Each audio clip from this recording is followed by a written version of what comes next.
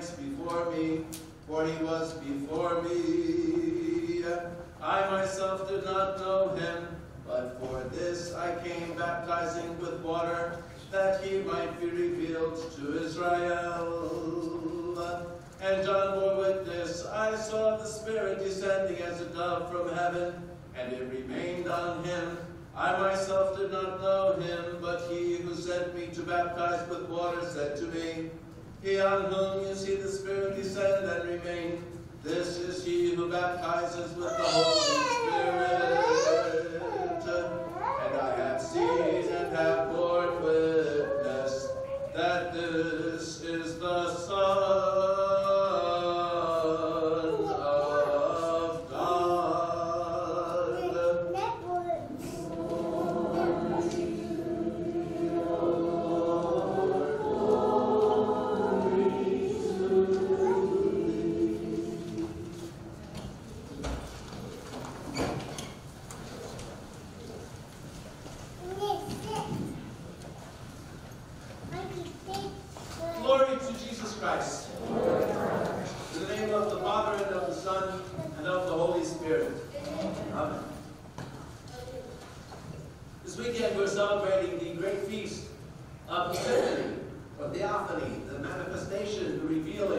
of the coming forth of, of a revelation of God's Holy Trinity, the Father and the Son and the Holy Spirit.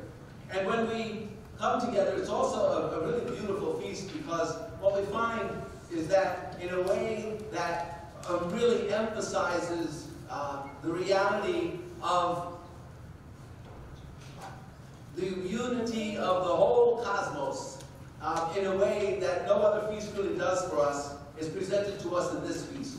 Um, those of us who were here yesterday morning when we blessed the water, um, you know, remember of those words, you know, that talk about the whole cosmos, you know, the angels and and and uh, and men and the saints and everybody, um, and the mountains and all of creation are being cleansed by Christ entering the waters, that primordial water uh, that that gives all of us life.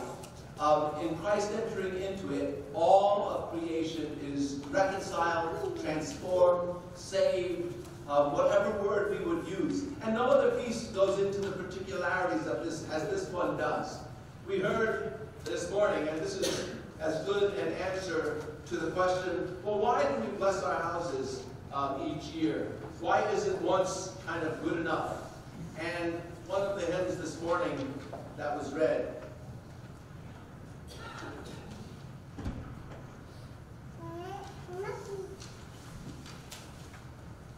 gives a pretty darn good answer, I'd say. Although it may not be an answer that's as obvious um, to, to you as it kind of seems to me.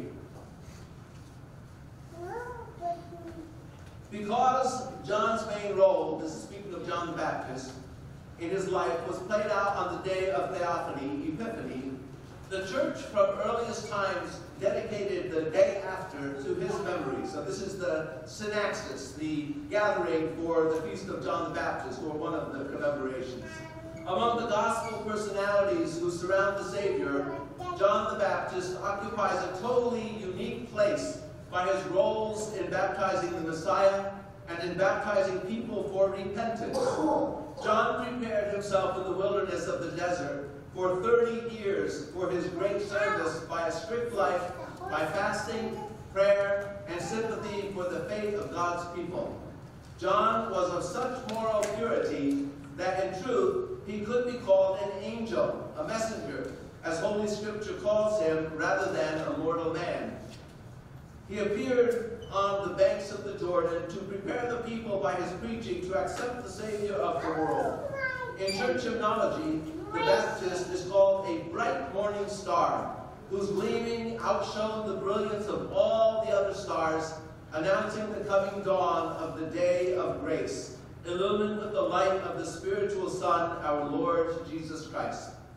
John differs from all the other prophets, especially in that he had the privilege of being able, with his hand, to show the world him about whom he prophesied.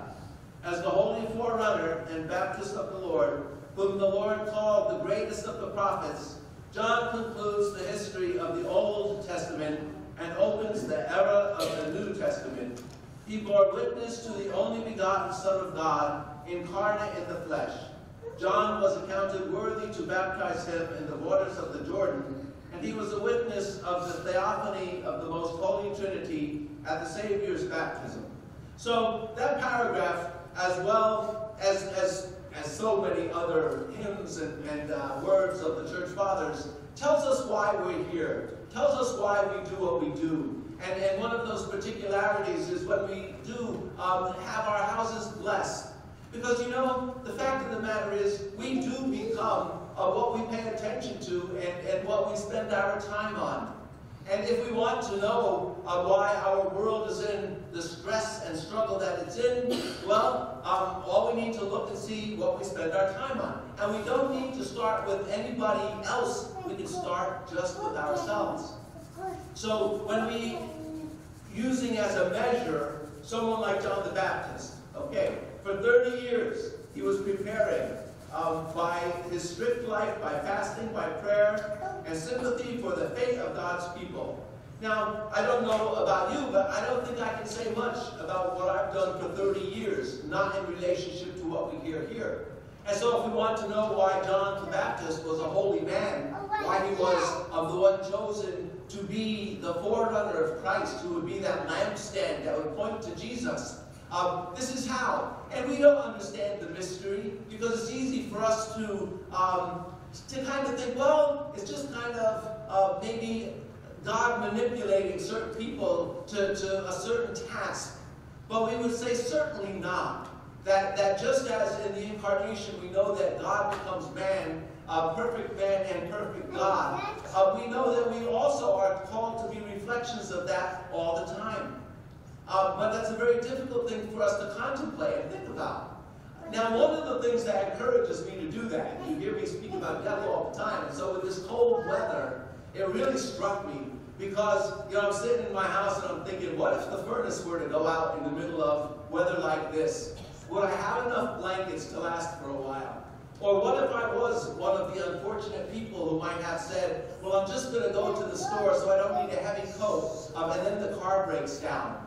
You know, how long would it take for my mortal flesh to turn cold just by the cold?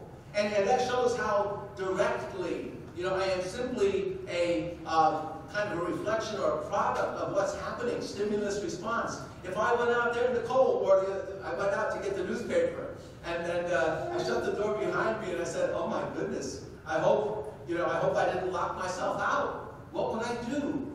And for the most part, we don't find ourselves um, with, with uh, too many, or that many opportunities to think like that. And most of us probably don't want to think like that.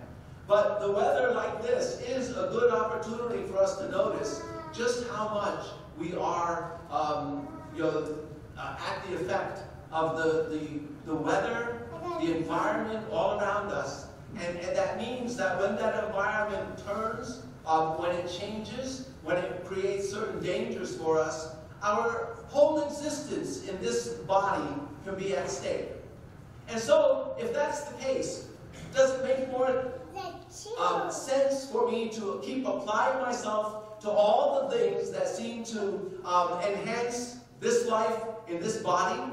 Or would it make more sense to consider the possibility that no, I have to start letting go of this because this is not going to be how I spend eternity. In fact, I know that I'm not even guaranteed that I will have a day, let alone a decade or, or a few score of years left to my life. Um, as it's pointed out to me with some regularity, morbid. Um, then why?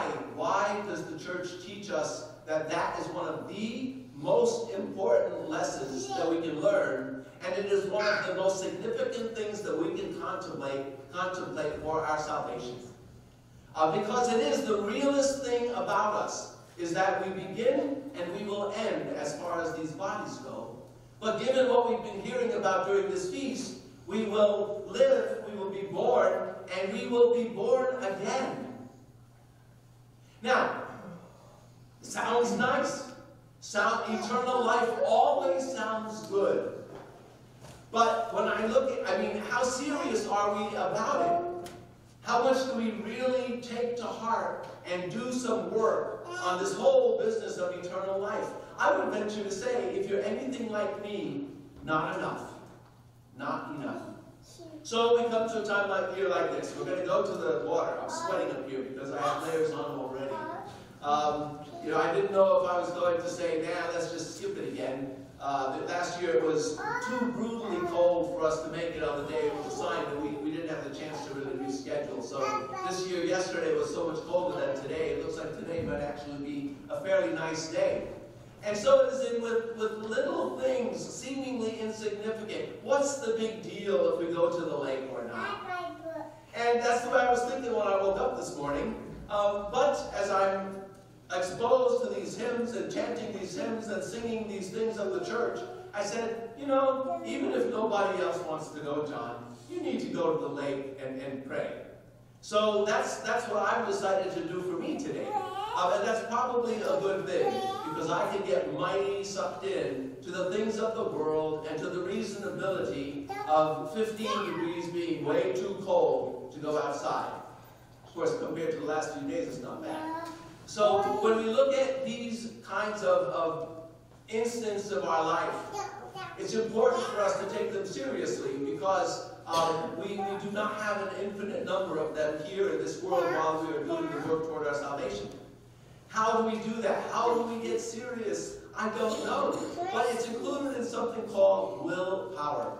You know, very often we, we don't give enough credit to willpower because we have um, you know, syndromes and diseases to describe why we we do everything we do. But willpower is a very important thing for us to, to have some sense of because everything we do is by willpower. The fact that I'm standing up here um, speaking with you is, is an exertion of my willpower. The fact that you got out of your beds this morning and got dressed and came to church this morning, um, that was an exercise of your willpower.